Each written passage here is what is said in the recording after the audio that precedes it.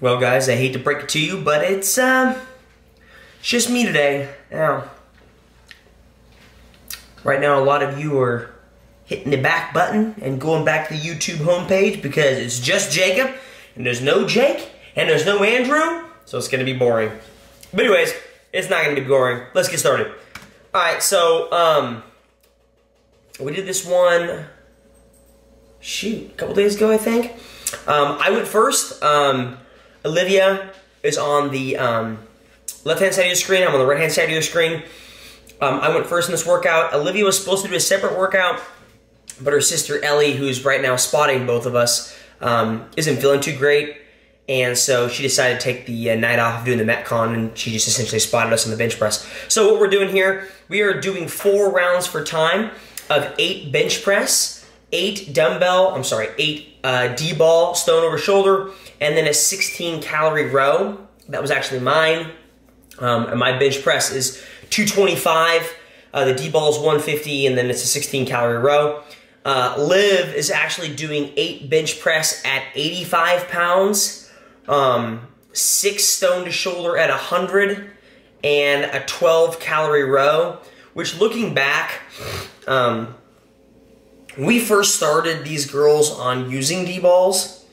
Um, we had them start with an 80, which was is the technical like girls' weight back in the day for RX females, and you know they struggled with it. They finally got the they finally got the hang of it, and they got better at it.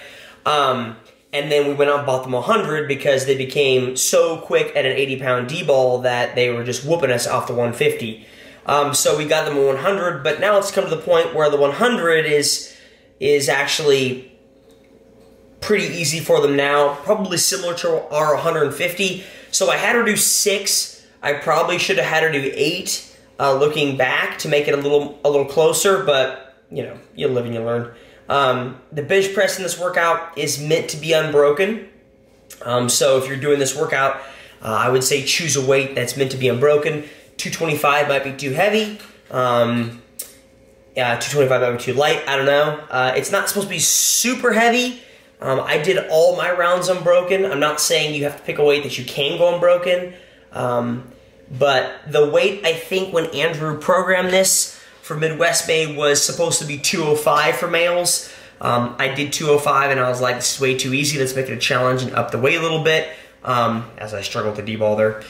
Um, anyways, and then of course a D-ball you can sub out with anything else you don't have or anything like a sandbag, similar concept. Any odd object work is, is pretty much what we're getting at. Um, and then I also had Liv, if we're doing this discussion, I also had her do a 12 calorie row instead of a 16, uh, which is probably pretty close to what I was doing. I think I was doing like 50 seconds. Um, I treated the row as my rest. Um, and so, yeah. Um, man, it's kind of it's kind of stinky when you're you're by yourself. You know, like at this point in the conversation, Jake would talk about what we're sponsored by. We obviously didn't have that. You know, Andrew would talk about how I look like a pile of poop right now and he'd also make fun of me and be like, Olivia's beating you. And I'd be like, yeah, she is beating me. I'm okay losing to a 13 year old. um, yeah, so he, Andrew gave, for this workout, he actually gave a time cap. The time cap was 10 minutes. So if you obviously divide 10 by 4, you've got 2 minutes and 30 seconds per round. Um, on the board, when I looked at this workout and kind of wrote out splits and concepts, I decided I could probably go sub 8 I would just need to kind of, I would need to pick up the pace in the D ball. And I think that's where I lost a lot of my time if you watch it. Um, is that D ball became a little bit tougher than normal.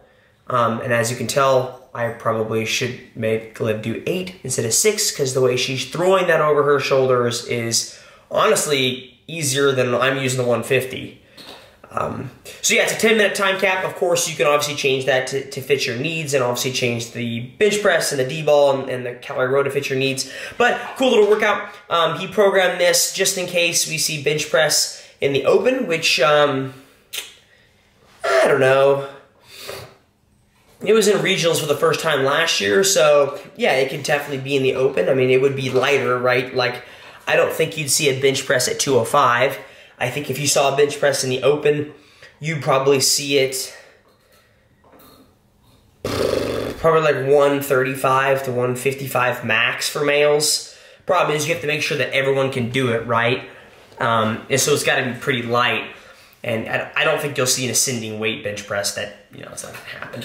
And it's, it's honestly, it's a fairly mo easy movement to judge. The issue I think you'd see if you put it in the open is if you use the same standards for bench press for regionals that you did in the open. So the bench press standard for regionals was you couldn't bring your butt off the bench and you know you couldn't essentially use your hips or kind of kip a, a, bench press to help yourself out, which is totally understandable. I, I totally agree with that. But that would be really hard to be able to tell from far away in a video and to also kind of judge it. Um, shoot, we, we missed Olivia. We could have probably pointed out a couple of her reps where she kind of like arched her back a little more than normal. And so you, your question is, is that a good rep? Um, you know, with your back arching and your butt possibly coming off the bench, probably not. And so that's why I don't think it would be in the open. If it was in the open, it'd have to be really, really light um, because obviously the heavier you get, um, the more likely you are to arch and bring your butt off the bench. Unless, of course, it's a light bench press and then it's a lot of reps. So that would be pretty hard to judge too. So anyways, um, Olivia is actually finishing up. I should have probably made this a little bit harder for her. Um, I wasn't planning her doing this with me. Um, and she did it after she didn't want to do another workout. And so she completely crushed me in this workout. So in case you're here to see Olivia versus Jacob, you just watched uh, Jacob get destroyed by Olivia in this workout. Um, so yeah. But they don't have anything else much to say, for being honest with ourselves. That's pretty much it. Um, I think you know, people, CrossFitters tend to make fun of bench press, like, oh, it's stupid, it's stupid.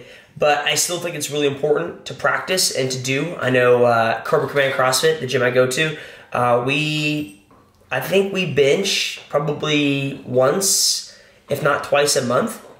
And I, it, as a strength piece mostly. I think it's important, right? It's it's something that shouldn't be overlooked. I think uh, when we look back at the last regionals we had, which is 2018, we had the uh, bench press inside of, oh shoot, what's that workout called? Linda.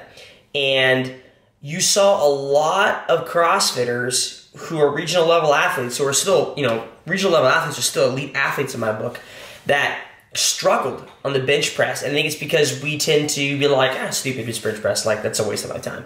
And it's really not. It's really important, I think. Um, you know, I think too much bench press is not good for you.